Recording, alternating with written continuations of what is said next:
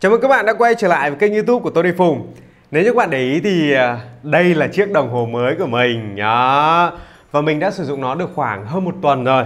Hơn một tuần với Samsung Galaxy Watch 3 Hôm nay mình sẽ đánh giá kỹ hơn về cái đồng hồ này. Một thiết bị đeo tay thuộc hệ sinh thái AIoT của Samsung. Và mình thực sự đánh giá khá cao cái đồng hồ này bởi vì nó đã thay đổi đi một vài những cái, có thể nói là điểm tồn động trước đây. Đã đẹp hơn đeo đã fit tay hơn. Quan trọng nó đã có nhiều tính năng thú vị hơn rất rất nhiều. Và bắt đầu luôn vào ngay trong video ngày hôm nay nhé let's go!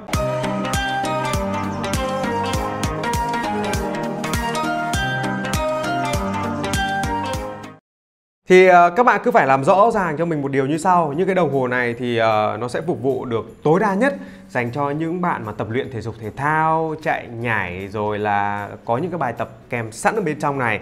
Thì với con Galaxy Watch 3 này cũng tương tự là như vậy. Chúng ta có rất nhiều những cái bài tập được cài sẵn để giúp các bạn có thể hỗ trợ cái việc luyện tập một cách tốt hơn. Các bạn có thể à, tùy chọn trong cái ứng dụng Samsung Health ở đây. Tuy nhiên thì đối với mình là một thằng nói chung là cũng lười vận động Thế nên mình sẽ chỉ à, sử dụng cái đồng hồ này với những cái tác vụ thông minh Như là nhận thông báo, những cái tính năng hỗ trợ thêm cho cái công việc của mình. Và cũng có thể nói là nó nhắc mình một chút trong quá trình mà mình làm việc Để tránh đi việc mình ngồi quá lâu một chỗ. Thì mình sẽ chia sẻ dựa trên cái quan điểm và cái trải nghiệm của mình mà thôi nhá. Còn đối với những bạn mà yêu cầu phải nó phải đo chính xác cái này kia Đến bước chân, bơi lội, chạy nhảy thì mình không có tham gia.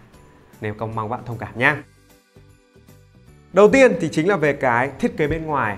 Mình đặc biệt thích cái kiểu mới của con Galaxy Watch 3 này Thực ra nó không phải là quá mới nữa Mà nó cũng là cái kiểu mang cái vòng quay trở lại đó, chúng ta đã có cái vòng benzen này như thế hệ đầu tiên để các bạn có thể điều khiển cái ờ, đồng hồ này một cách cực kỳ là dễ dàng. Nhưng cái hay là cái phần ngàm của chúng ta nó không còn quá thô, quá to và nó không còn quá vướng giống như ngày xưa nữa. Thế nên các bạn có thể mix dây một cách cực kỳ là dễ dàng. Thậm chí với cái phiên bản mà mình đang sử dụng ở đây nhá là nó có cái ờ, vỏ bên ngoài là bằng thép cũng như là cái phần dây da. Đấy, dây da này mới đầu các bạn đeo thì hơi cứng nhưng mà sau khi đeo một thời gian thì nó sẽ tạo hình như thế này thì nó cũng sẽ fit vào tay của bạn một cách tốt hơn. Nhưng nếu các bạn thích thì chúng ta thừa sức có thể à, thay đổi những cái mẫu dây khác bên ngoài.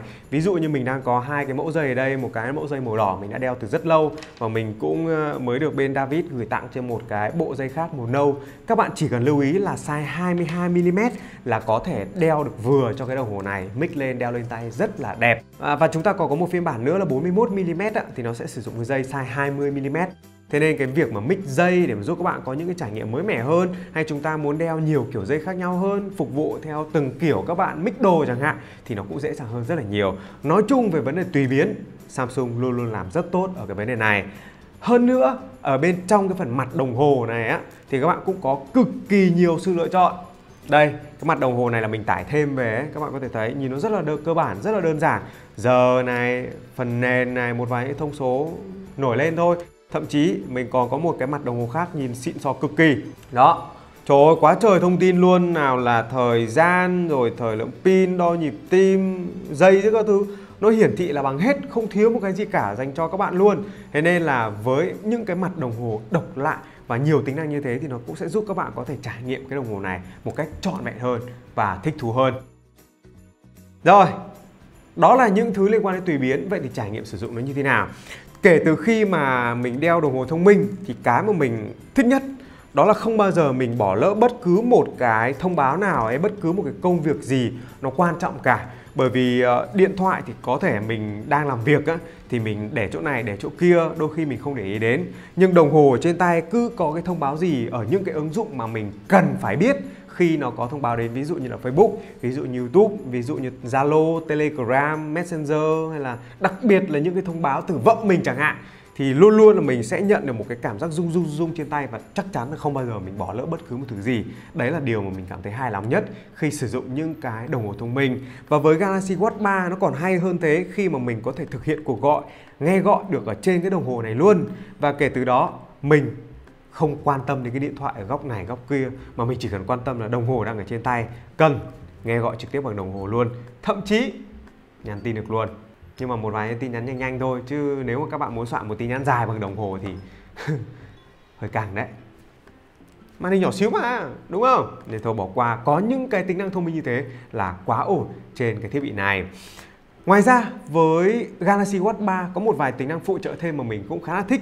Ví dụ như mình có thể à, xem trước được cái camera trên cái đồng hồ này. Kể từ đó mình có thể căn khung rồi mình chụp hình một cách dễ dàng hơn theo những cái thông tin mà mình nhận được ạ thì các bạn còn có thể sử dụng cái vòng benzen này để mà chúng ta thao tác zoom ở bên trong cái camera. Thế nhưng mà cái thời điểm mà mình làm cái video này thì cái tính năng đó vẫn chưa được update và chắc chắn là sẽ phải đợi thêm một khoảng thời gian nữa để Samsung update những tính năng này để giúp chúng ta có những trải nghiệm thú vị hơn. Đó, cũng khá là ổn đúng không? Bộ trong của cái à, Galaxy Watch 3 này nó có lên tới là 8 GB Thế các bạn có thể chép nhạc này, các bạn có thể chép hình vào đây để chúng ta có thể thay đổi làm mặt đồng hồ bằng hình ảnh của các bạn luôn. À, Con gái các bạn chẳng hạn. Hoặc là chúng ta có thể nghe nhạc độc lập bằng cái đồng hồ này. Bởi vì nó có Bluetooth, các bạn có thể kết nối tai nghe Bluetooth đến cái đồng hồ này để chúng ta nghe nhạc một cách độc lập không nhất thiết phải sử dụng đến điện thoại nữa luôn. Thế thì các bạn nghĩ sao? Đều là những cái trải nghiệm rất thông minh và mình đánh giá rất cao ở cái điều này và các bạn biết mình còn thích một cái tính năng gì nữa không?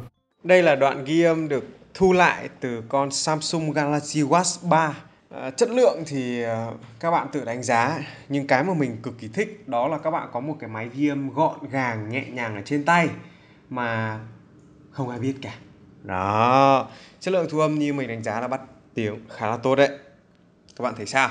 Đây là đoạn âm thanh được thu lại từ Galaxy Watch 3 các bạn không nghe nhầm đâu, Âm thanh thu từ một cái đồng hồ Mà nó mang lại một trải nghiệm tốt như thế đấy các bạn ạ. Đã chưa? Và cái hay là khi các bạn ghi âm bằng cái đồng hồ này, thì ngay lập tức khi các bạn kết thúc bản ghi âm, chúng ta đã có một cái file sẵn luôn vào ngay ở trên cái điện thoại. Kể từ đó, các bạn có thể sử dụng nó như một cái máy ghi âm mà không ai biết cả. Nó sẽ bảo mật hơn, nó sẽ kín đáo hơn và nó sẽ không khiến cho những người đối diện với các bạn cảm thấy bị khó chịu hay là cảm giác kiểu bị kè kè kè kè cái mic vào mồm nó khó chịu ấy. Thì bây giờ ghi một cái này nó ok hơn rất nhiều. Đó các bạn nghĩ sao? Quá ổn luôn đúng không? Ngon. Và với Galaxy Watch 3 mình có đánh giá rất cao một vài những cái tính năng để mà giúp các bạn chăm sóc sức khỏe một cách tốt hơn. Ví dụ vào đến mục uh, Samsung Galaxy Health á, thì nó sẽ đếm bước chân này. Từ sáng giờ mình đã bước được khoảng tầm hơn 3.000 bước rồi. Rồi có những bài tập thể dục được setup sẵn ở đây nó sẽ theo dõi giấc ngủ của bạn. Tuy nhiên cái việc mà đeo đồng hồ đi ngủ thì mình không quá khuyến khích đâu. Bạn nào thực sự quan tâm đến thì trải nghiệm thôi chứ mình thì không đánh giá quá cao. Nó có thể theo dõi được mức stress này và đặc biệt nó có thể theo dõi được mức oxy ở trong máu của bạn. Đây là một cái chỉ số cực kỳ quan trọng dành cho những bạn mà tập luyện thể dục thể thao cường độ cao. Nếu như oxy trong máu mà không đủ thì các bạn hãy suy nghĩ thật kỹ trước khi tập luyện nặng nhá. Chứ còn đối với mình thì mình chỉ có ngồi một chỗ làm việc nữa không phải là vấn đề quá lớn đối với mình. Hay nó có một tính năng mà rất nhiều những chiếc đồng hồ thông minh cũng làm khá tốt, đó là việc nó nhắc nhở các bạn vận động. Ví dụ như các bạn ngồi lâu một khoảng thời gian thì nó sẽ báo là đứng dậy đi, vận động tí đi. Ngồi mãi, tê đít bây giờ, kiểu kiểu thế. Không, mình chém gió thôi. Nó sẽ có thông báo để giúp các bạn đứng dậy, vận động. Kể từ đó, cơ thể sẽ dễ chịu hơn và nó sẽ tránh đi một vài những bệnh khi mà các bạn ngủ quá lâu.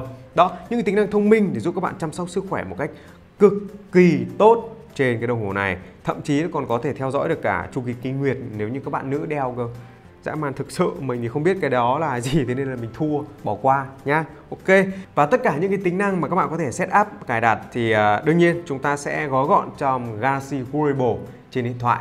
Và các bạn lưu ý nhé Galaxy Wearable có thể chạy trên bất cứ một thiết bị chạy Android nào thậm chí là cả iOS miễn sao. Lựa chọn phiên bản iOS phù hợp là ok. À, thế nhưng mà thực tế trong quá trình trải nghiệm thì mình vẫn đánh giá là Galaxy Watch 3 sử dụng tốt nhất với điện thoại của Samsung. Bởi vì cái ứng dụng Galaxy Wearable luôn luôn được ưu tiên để chạy nền.